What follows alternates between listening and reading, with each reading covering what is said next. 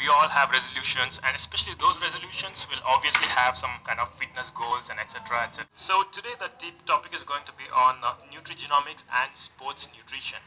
So tell us what is nutrigenomics in the first place? So this is something like NASA space stuff, okay? It's now available to everybody across the world mm. and it's actually the scientific study of the interaction of nutrition, that's your dal, chawal, roti, mm. with your genes. Now what are genes? The human body is the hardware, genes is like your software. So how when you put food into your body, the software behaves. Yeah. So this is nutrigenomics. Mm-hmm. That's amazing, no? Short but very nice explanation, easy to understand. Yeah, you know, we, we eat a lot. We eat a lot of lot of things, and we put things without knowing what we're putting into the yeah. body. But now science has come to the level where we are understanding our DNA or our code, mm-hmm. and based on that code, you are able to then make carefully constructed decisions what to put, mm-hmm. what not to put into your body, and how much in terms of food. Absolutely. So tell us the significance of nutrigenomics and is this only applicable to so only celebrities and sports stars or even Aam Aadmi can do this? No, you'll be surprised at our nutrition clinic when I'm working with hundreds and hundreds of people. Maybe two or three people are celebrities, okay? Yeah. But the rest is Aam Aadmis like you and me. Yeah. Uh, what's the philosophy? A lot of people want to know how they eat. There are two types of uh, people vanity and pain. Mm-hmm. Vanity are those who want to take care of their health, and pain is when doctor says, Hey, you know, you've got a cholesterol or a BP problem, go and change the way you eat and do some exercise. Yeah. So, this is applicable to everybody by discovering uh, your genes and saying, Hey, this is the dal, or this is the chawal, or this is the amount of butter or makhan or ghee that you need to have mm-hmm. at the end of the day. Right. And uh, since we're talking about nutrigenomics, tell us about the mechanism, how these genes and nutrition, you know, interact and how are they related to each other? So genes basically, as I said earlier, is like the software. So if you have a computer and your software is slightly corrupted, then that program is not going to run very well. So let me take a simple example. Mm-hmm. There's something called gluten. Now to all the listeners out there, new Raj, gluten is a protein found in wheat. Mm. And wheat is found in your pasta, is found in your chapatis, found in your bread, your biscuits, your maida. All of this contains gluten. Yeah. Now there is a gene that codes for gluten. So that gene says, I will be able to process gluten or I will not be able to process gluten. Now, when you do a gene test and you find out, let's say in my case, my own personal cases, I'm gluten intolerant, which means I cannot process gluten. Mm. And I just found this out about two years ago mm. when nutrigenomics came to India. Mm. I got the test done because I said, you know what, let me just get myself tested out so I can explain it to everyone out there. And what I found out was I can't now eat wheat. I stopped for about a year and my body started behaving brilliantly, thinking became better, dandruff disappeared, adult acne that I had disappeared. Wow. I uh, I felt better getting up every morning. My vitamin B12 levels went up automatically. My iron levels went up automatically. All because my body said I was not bashing it up with gluten.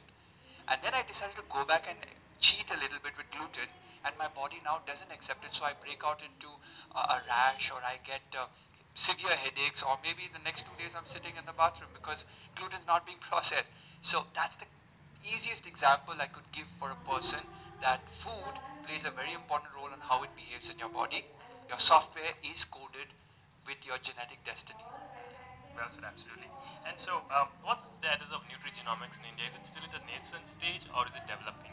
It's developing. It's developing faster than I expected. It is it is slightly expensive. Uh, it's, it's, the cost of a high-end smartphone today, about thirty to fifty thousand to get yourself tested.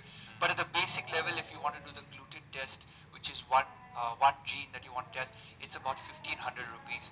So it is expanding a lot. A lot of doctors are now testing for vitamin deficient genes. So if a vegetarian is deficient in B12, you can actually test for that gene and figure out is, is it a gene that is causing my deficiency or is it my improper eating habits that is causing the nutritional deficiency. So you want to know whether you're born with it or you're causing the issue.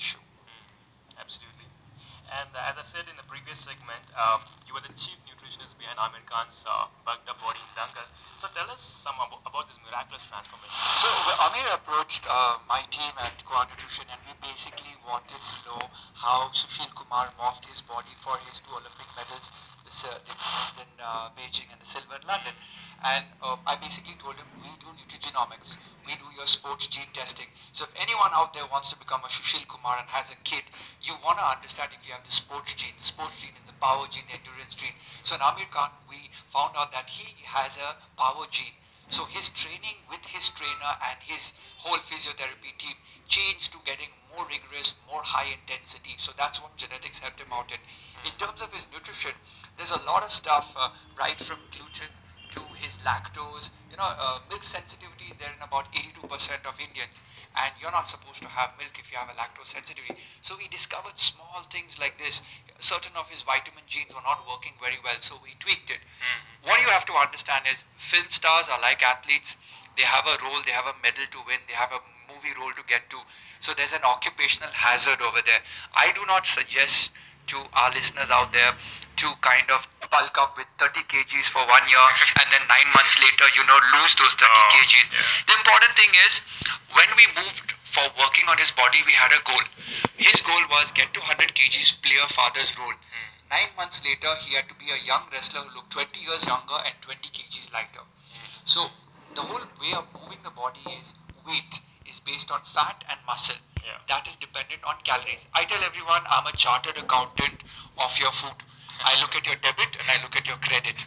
So your input and your output, and that's what we gave the equation to the to the to the people planning his diet. We gave the equation to his trainers, Mm. which would uh, make his body give the output. And basically, the meal plan was set up and the exercise plan was set up. If you follow this, if anybody follows it up and has hard work, dedication, two three hours a day Yeah. for exercise and eight meals a day are bang on perfect. No cheat meals. They can get the Aamir Khan philosophy.